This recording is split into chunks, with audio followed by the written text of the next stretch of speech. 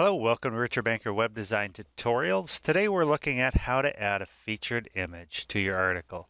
Uh, there's some advantages to featured images. Featured images. One is that you can, uh, it's very easy for non-techie users to be able to add images to your content and get it to show up the same every single time. So right here you can see in this article we have this picture of this rooster and we're just going to refresh. We've got a blank slate and we're going to dive right in. So, differences between featured images and just a regular image that you add to your content. If I'm adding an image to my content, I have to go to where I want. I have to either use the image button down here. And I'm just going to use the same one just so it makes sense.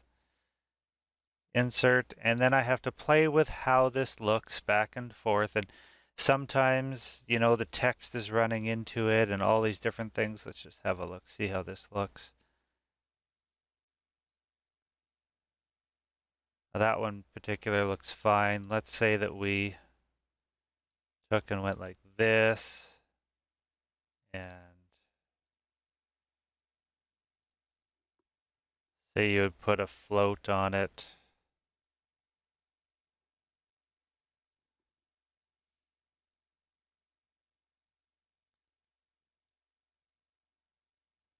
And you know, your image just doesn't look the same every single time. So what can we do to make things easier? Especially if you have staff or other people who are working on the site who don't want to play with images, they just want to put one in. Well, that's where you use the featured image. Real quick here. First, get rid of that. We don't want that anymore. So in Joomla 2, it's on this side. Joomla 3, it's up here. Images and links. Now first your intro image, this is what shows up in blogs. So if you have a blog format where you're adding news and things like that, this is the image that will appear there. Your full article image, when you click on the, on the article in your blog, this image will appear. So if you want the same image, yes, you have to add it twice.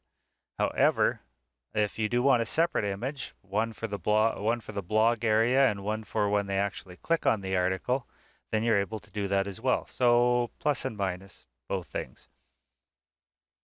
So these can be set up in global as far as your image float, but the, the super benefit of all of this is that you could set this up globally that you want your featured image to be this size, you want it to be to behave this way, you want it to uh, uh, fill a space, you want it to float to the left, you want it to have these margins, this padding, all of that stuff, you can have it set up and all your staff or users have to do is go in here and select their images. Grab the same one again. And the image float, they can just leave it to your global settings, add in their alt text.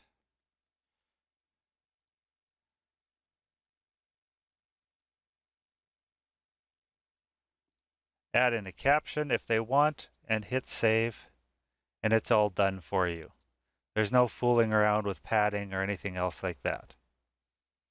That is quick and simple how featured images work, and they, they appear at the top of every single Joomla article. So that way, you could play with the content and not have to worry about it uh, displaying weird within your text. It's just always the same on top. And this works really well, especially when you have banners and things like that that go across the top of the page. That's quick and easy how to add a featured image to your Joomla article. Any questions? Leave them in the comments below. If you like this video, hit like, subscribe to the channel. Thanks so much for watching.